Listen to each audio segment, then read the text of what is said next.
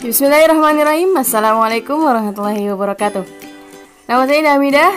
Uh, ketemu lagi bersama saya di sini. Pada kesempatan kali ini saya akan sedikit membahas tentang tutorial mendesain pembelajaran. Salah satunya saya akan memakai aplikasi Android yang ada di Android yaitu aplikasi Quizzes. Oke, ini tampilan awalnya. Langsung aja kita uh, masuk ke aplikasinya. Sebelum itu kalian harus masuk dulu atau daftar pakai akun ya, karena di sini belum ada tuh buat sebuah akun. Oke, uh, untuk mempermudah kalian harus ganti bahasanya biar mudah juga pakai bahasa Indonesia. Kalau bisa bahasa Inggris ya aja pakai bahasa Inggris. Nah di sini ada banyak pengaturannya ya, ada beranda, pencarian aktivitas sama pengaturan. Kalian ketik di pengaturan. Jadi referensi bahasa, uh, bahasa Indonesia, simpan perubahan. Oke, okay, aplikasi quiz ini adalah aplikasi uh, salah satu media pembelajaran ya untuk membuat quiz dalam mempermudah materi penyampaian materi pembelajaran. Nah, kalian uh, biar gampang masuknya lewat daftar dengan Google. Bisa juga sih dengan daftar dengan email, tapi lebih gampang lagi daftar dengan Google. Langsung klik aja daftar dengan Google. Ya, kita kalau misalnya belum punya email, boleh daftar dengan Google. Oke, ini agak lama. Kita pilih akun. Di sini saya pakai akun saya sendiri. Indah Hamidah.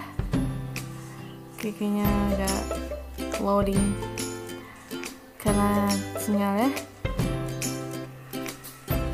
Nah, ini udah masuk, guys. Oke, ini tanda tampilannya kalau kita udah masuk jadi ada ketahuan di sana ada akunnya Indah Hamidah. Oke, dalam membuat kuisnya kalian bisa lihat di tombol-tombol awal itu ada beranda pencarian aktivitas. Kalian klik aktivitas dan di atasnya ada tanda buat kuis. Langsung aja kita pencet tanda buat kuisnya dan tampilannya seperti ini. Ini lagi loading guys. Nah, ini tampilannya buat kuis. Nomor satu berikan nama kuis ini dan nomor dua ada beberapa pilihan mata pelajaran terkait kita langsung aja mau ngasih nama karena ini bagian pembelajaran bahasa Arab saya bakal kasih temanya tentang Asyang Arab siang air Arab. Kalau kalian yang belum punya keyboard Arab kalian harus download dulu keyboard Arabnya di HP atau di Android kalian oke kita tulis dulu judulnya atau nama kuisnya siang air Arab. Dan di sini ada beberapa pilihan mata pelajaran terkait karena bahasa Arab ini masuknya ke bahasa dunia jadi kita pilih ke bahasa dunia karena bahasa Arabnya nggak ada di sini Oke, kemudian ada tombol icon hijau ya. Selanjutnya kita klik. Oke, nah ini adalah sistem pertanyaannya atau bentuk pertanyaannya itu kalian mau pilih kayak gimana? Ada pilihan ganda, banyak jawaban, isian singkat sampai essay dan slide. Kalau yang slide saya ini ya. Kita yang ambil mulainya aja dulu ya. Kita pilih Sistem pertanyaannya itu pilihan ganda. Kita klik yang warna pink. Pilihan ganda.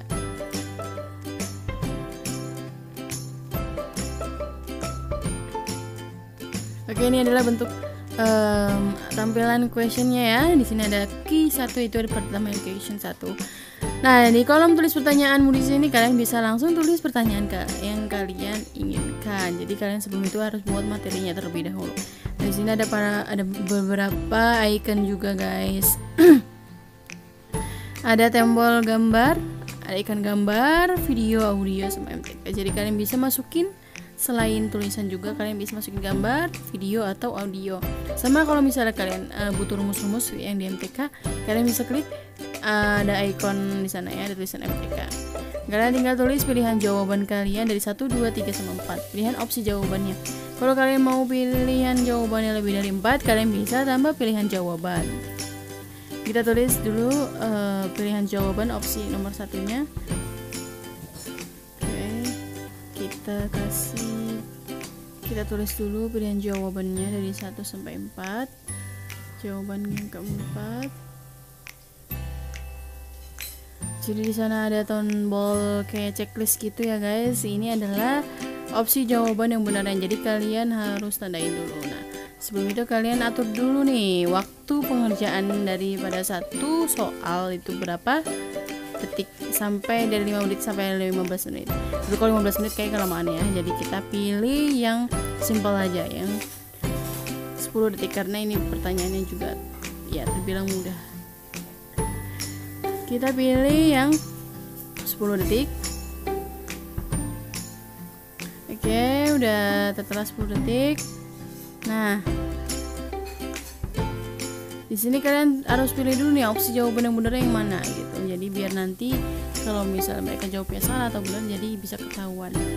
Kita pilih yang nomor satu karena yang pertama itu adalah yang jawaban yang benar. Jadi kalian checklist di icon yang di checklist itu ya jadi warna hijau kemudian kita klik simpan oke nah ini adalah tampilan daripada uh, yang pertanyaan yang tadi kita buat guys ini pertanyaan satu nah kalau kalian mau nambahin pertanyaan kalian tinggal klik pertanyaan baru yang tanda plus di atas Nah, oke, okay. udah jadi nah kalian tinggal pilih uh, sistem pertanyaannya. Nah, ini adalah tampilan question keduanya. Kalau kalian mau nambahin gambar, kalian tinggal klik ikon gambar yang di samping tulis pertanyaanmu di sini. Boleh audio, boleh video. Kalau rumus-rumus MTK juga bisa.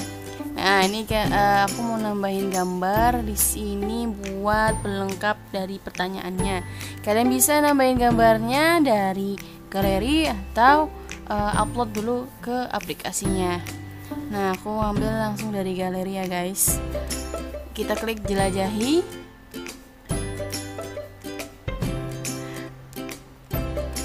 Nah, kita klik di galeri. Oke, aku mau ngambil gambar uh, ini.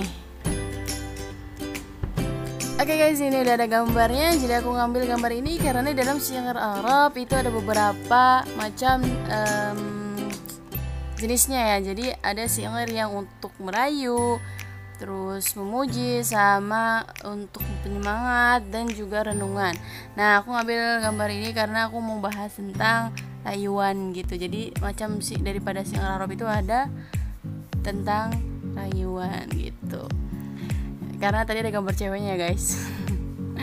Oke okay guys ini udah ditulis di sini ya kita tulis pertanyaan yang keduanya. Kalian tinggal ikutin aja um, cara-caranya dari awal sampai akhir.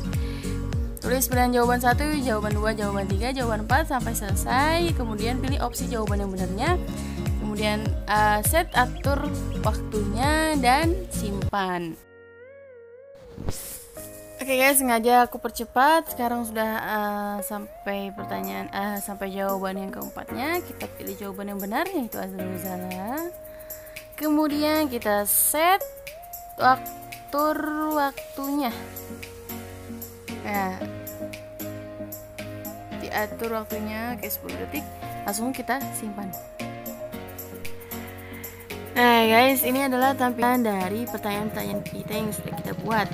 Dari 1, 2, 3, 4, dan 5 Dan sini aku bikin 5 pertanyaan aja gitu kan buat latihan aja dan kalian bisa bikin pertanyaannya sampai 20 sampai 30 bahkan sampai 50 soal kalau kalian mau.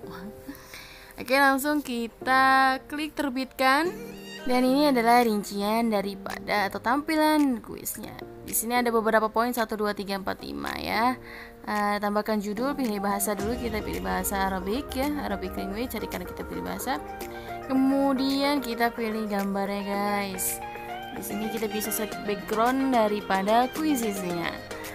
Aku mau ngambil dari galeri kayak tadi juga. Kita pilih gambar yang ini.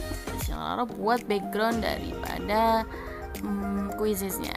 Di sini ada pilih kelas kalian pilih juga kelasnya ya guys. Nah, aku udah pilih kelas 12. Nah, kalian juga bisa set siapa yang bisa melihat kuis ini. Kita setnya di sini public. Jadi kalian juga bisa set pribadi simpan kita tunggu Oke, okay, successfully created new quiz. Nah, kalau udah ada bacaan kayak gini berarti quiz kita udah selesai dibuat. Nah, kan ada di aktivitas ya guys. Oke, ini dia adalah tampilan daripada kuisnya. Di bawah kalian lihat ada latihan sama tantangan teman. Kalau kalian buat latihan, kalian bisa klik latihan. Tapi kalau buat tantangan teman atau buat di share ke grup kelas atau anak murid, kalian bisa klik itu. Nah ini dia adalah kalau kita mau masuk ini ada tanda masuk juga. Nah di sini ada pengaturan juga guys. Kalau kalian mau uh, kalian bisa nyalain off atau on daripada musik, efek suara, perlihatkan meme sama pembaca otomatis. Aja kita klik masuk. Nah ini adalah tampilan daripada kalau kita udah masuk ke gamenya. Kita tinggal klik mulai game kalau kita mau mulai gamenya. Nah untuk kalian kalau mau share ke teman-teman atau untuk para siswa kalian kalian tinggal nyuruh mereka untuk uh, unduh aplikasi Quizzes dan bagikan tautannya ketik di ketuk di sini untuk membagikan tautan. Nah, kalian bisa share ke WhatsApp dan yang lain-lainnya. Kita coba share ke WhatsApp ya. Nah tinggal klik WhatsApp. Nah pasti ada tampilan kayak gini. Kita coba kirim ke buat tahu gimana tampilannya ya. Kita klik. Nah, ini adalah tampilannya. Jadi untuk join ya, mengundang itu. Di sini juga udah disertakan game kode atau kode daripada gamenya. Jadi walaupun nggak pakai tautan, kalian juga bisa pakai kode. Jadi share kodenya. Nah, di bawah mulai game kalian bisa lihat akun-akun atau siapa-siapa aja uh, yang join dalam permainan kuisis kalian. Jadi kalian bisa lihat siapa aja yang masuk atau ikut join permainan kalian di bawah ini. Jadi karena baru aku jadi Hamidah, Indah Hamidah aja kita keluar ya ini udah tampilan udah udah bener kayak tadi kalau kalian mau mulai gaming kalian tinggal klik yang mulai game tadi. Nah itu guys dari beberapa tutorial mendesain pelajaran atau tutorial membuat desain pembelajaran dari aplikasi Quizzes. Ya mungkin lebih tepatnya media pembelajaran ya guys. Oke terima kasih kepada kalian semua yang telah menonton video kali ini. Semoga video kali ini bermanfaat dan juga bisa membantu kalian menyampaikan materi pembelajaran lebih menarik lagi Oke guys itu aja yang bisa saya sampaikan Semoga kita bisa bertemu di kesempatan yang lain Mohon maaf atas segala kekurangan. Akhirul kalam, wallahu Wassalamualaikum warahmatullahi wabarakatuh. Sampai jumpa. Hold me close till I get up.